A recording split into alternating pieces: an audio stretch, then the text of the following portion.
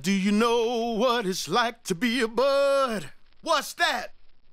A black Uber driver. I know you don't.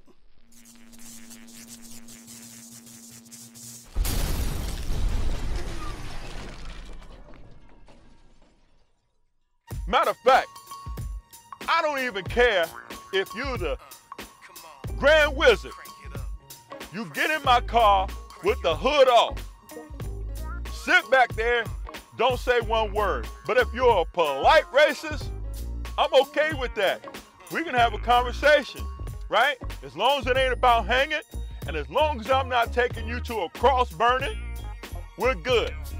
Another thing that y'all need to know when it's 2 o'clock in the morning, do you seriously think I, as a black man, want to be roaming around looking for you because you haven't stepped your ass out to the curb yet?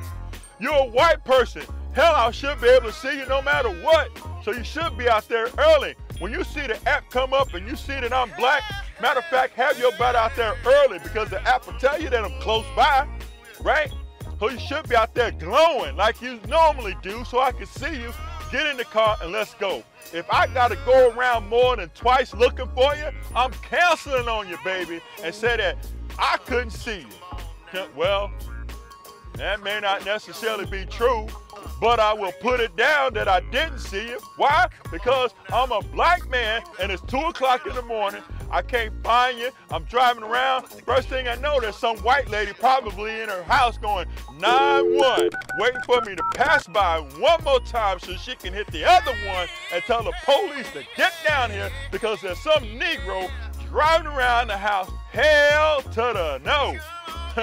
Next thing you need to be aware of, black people, especially black men, if you get in my car and it's 2 or 3 o'clock in the morning and I'm picking you up from anywhere it is because I'm out late trying to make that money, and you go in to a store, I'm inside with the doors locked because if your ass come out running, I'm driving the hell off. Why? Because in my mind, I'm thinking if you just robbed the place.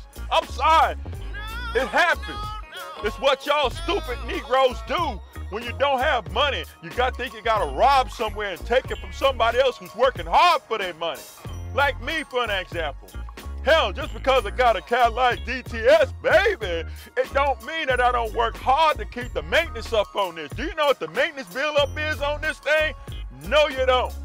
Now, with that being said, I'm an honest Uber driver, okay? When I when I see you get out of my car and we had a good time, I'll give you five stars, right? But some of y'all, because I'm black, no matter how nice I am, you give me a one star and complain. Really? You gonna do that to me? A hard-working black man is nice to you in a Cadillac DTS and you get to sit in the back like it's driving Miss Daisy? Come on. And besides that, a lot of people don't know how to act when they get up in your car. They don't. They want to eat food. And you know who mostly does that to me?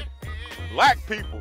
They think they just get up in the car and start eating a sandwich and breaking out their lunch bag and all that. I don't think so. This is a Cadillac DTS, baby. And I'm not to have anybody just getting in my car and just be eating whatever the heck they want to eat.